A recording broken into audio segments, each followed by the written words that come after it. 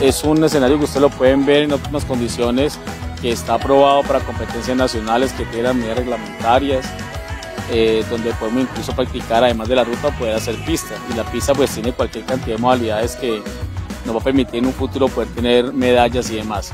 Eh, me llamo Sebastián Romero. A mí me gusta ir a ciclismo porque es muy chévere entrenar, andar en ciclo y uno puede conocer nuevos amigos en el camino.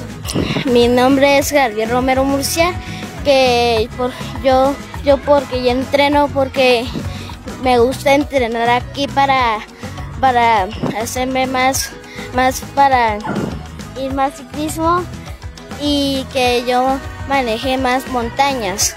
Vengo a acompañar a la niñetecita, a María José, y a mí me gusta mucho que hagan eh, deportes, claro, el deporte es muy bueno porque hasta yo de vieja lo hago para estar un poquito bien.